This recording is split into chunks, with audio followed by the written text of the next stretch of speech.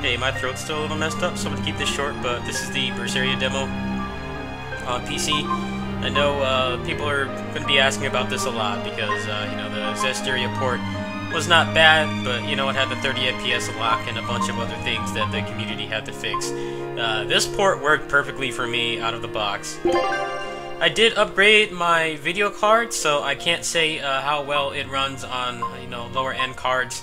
I'm pretty sure if I popped my 750 Ti back in, I could probably max this game and have uh, very little adverse effects. As you can see, I have pretty much everything maxed out right now. Uh, I haven't really touched some of this other stuff. I felt like it wouldn't really matter much. I don't really care how far the, the draw distance is on the on the grass. I know some people do. But I turned off uh, some of the things like the reduced animations. I'm sure you remember on uh, Zestiria, like the enemies would, be, would go at like 20 or 30 FPS if you were far away from them to, I guess, preserve the frame rate or whatever. I've turned that off. I've turned pretty much everything on or at max and it runs fine. Controller, uh, the controller, as you can see, it picks up as a generic, uh, it, as a generic controller with my PS4 pad. Uh, it doesn't seem like you can get PS4 button icons, which is pretty annoying, but I'm pretty sure someone will have a mod for that, uh, probably when the game comes out. You can even change uh, the button mapping if you want to.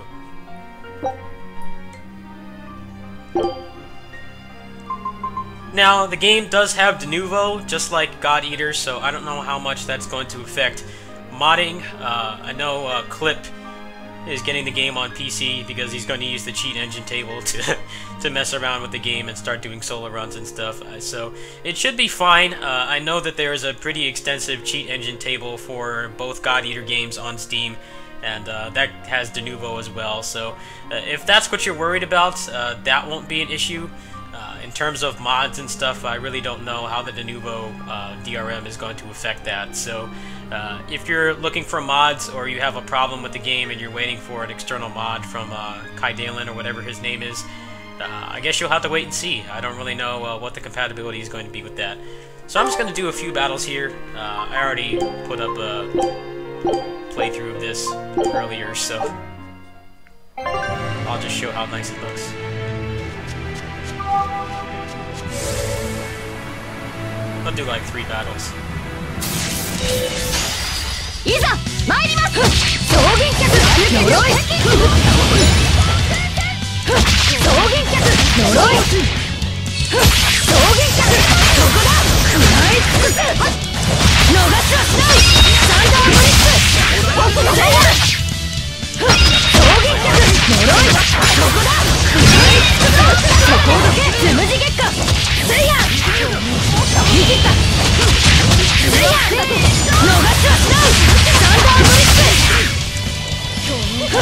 その程度でそ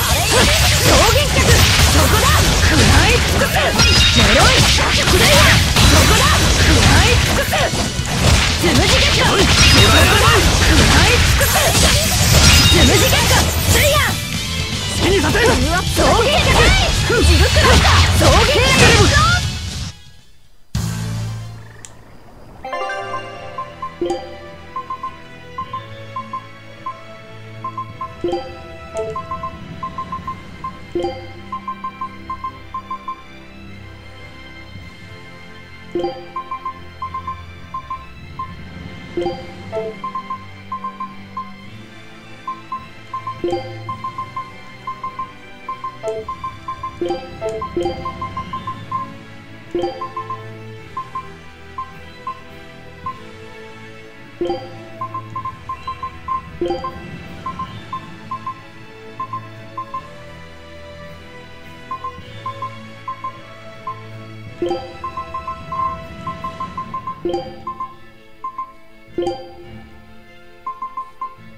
Oh, I should be good enough. I'll do a couple uh, battles to compensate for that. Obviously, it's not the full game, so while you're setting up stuff for change.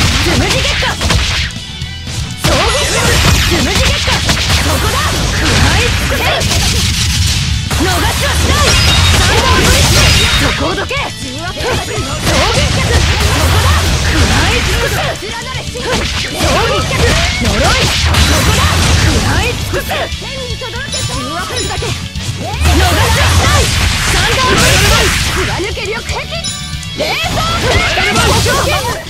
切り捨てごめん So if you want to know uh, what I'm running the game on, I'm running it on a 1050 Ti, an i5 uh, 3750K, and 8 gigs of DDR3 RAM. So you don't need a beast computer. Uh, like I said, I'm pretty sure I could put my uh, 750 Ti and probably get similar performance. Uh, some people on the Steam forums, I've a lot of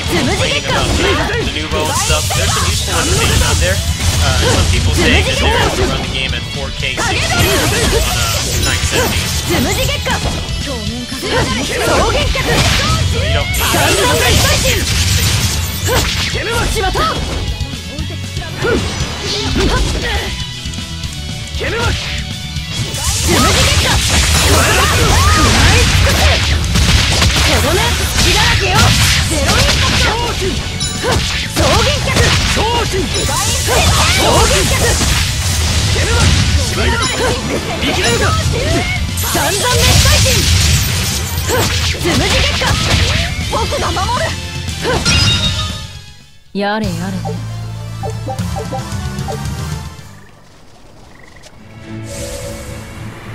So if you haven't played this yet, uh, the main difference from the other Art Tree battle systems is that you have full customization over the arts, which is uh, something that we've all wanted for a long time.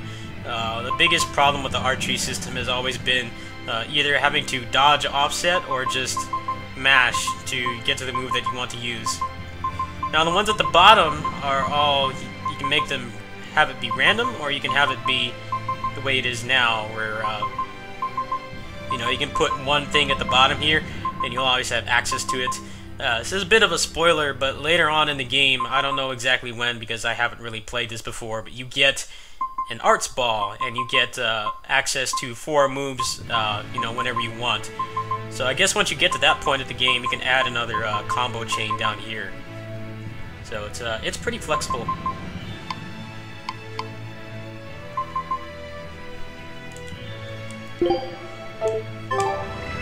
I'll do like two more battles.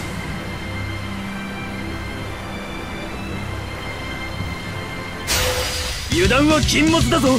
Mikiru! 無事結果ここだ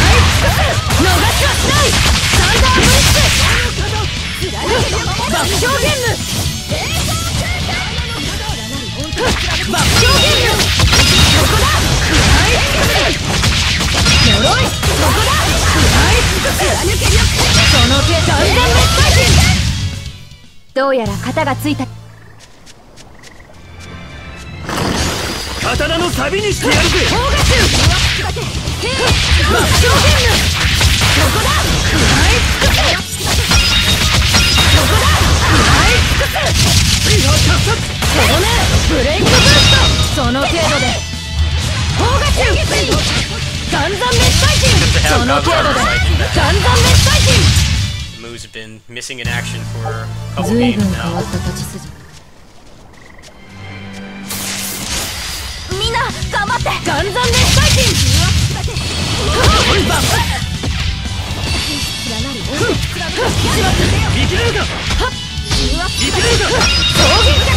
そこだ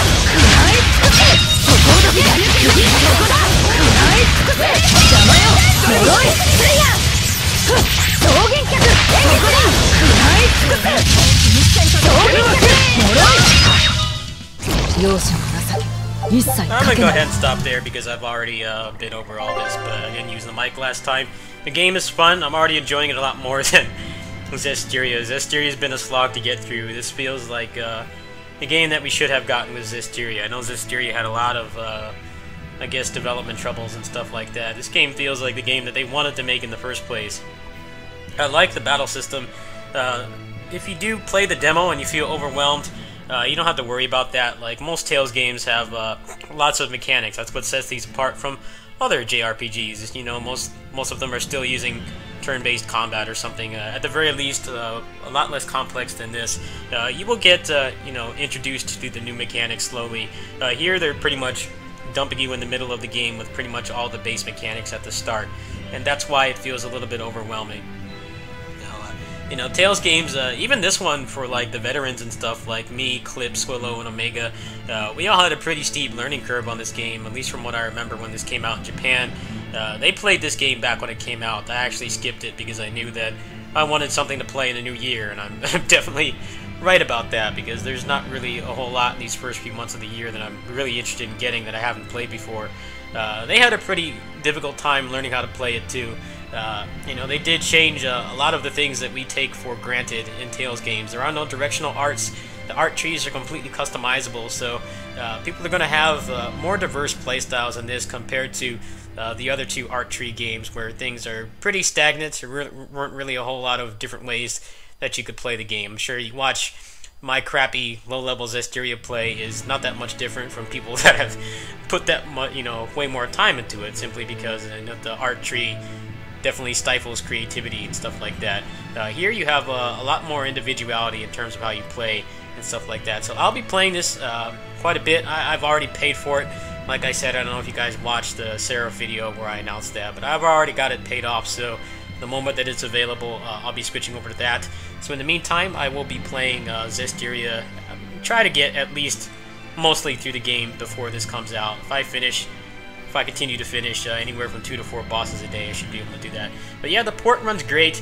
There are some people having problems, but I'm sure that they will be patched. I've seen uh, far more people uh, having good experiences with it than bad ones, which is uh, it's good that they're doing this demo. They're obviously trying to get some goodwill for putting the Denuvo DRM in there. I hope that the DRM will not affect mods and stuff like that. Uh, the game still does need some improvements. Uh, I know one thing that they said on the, the press release or the announcement that they made uh, a couple days ago is that the 4K is upscaled. Apparently, the 4K resolution is not upscaled. Uh, I only have a, a, 1080p monitor, so I can't even comment on that to begin with, but apparently it's not upscaled. It's like a native resolution from what I hear anyway, so uh, if that bothers you, that won't be a problem either. And I, like I said, um, people have been running it at the max resolution at 60 FPS on like a, a 970, which is uh, a couple years old card now, so performance shouldn't be an issue. Uh, there are some people having some random performance issues, but I'm sure that those will get patched out sooner or later, and if not, then uh, the fan mod should fix it. Anyway, uh, catch you guys later. it's going to be hard to go back to Zestiria after playing this demo for like an hour, but uh, I'm going to do it. I, it's like the only Tales game or recent Tales game I have not finished. It's the only one I've also backlogged, so I want to get uh, a little farther through it so that I have more of a, an honest opinion towards it, and then uh, I definitely will appreciate this a lot more once I get to that point.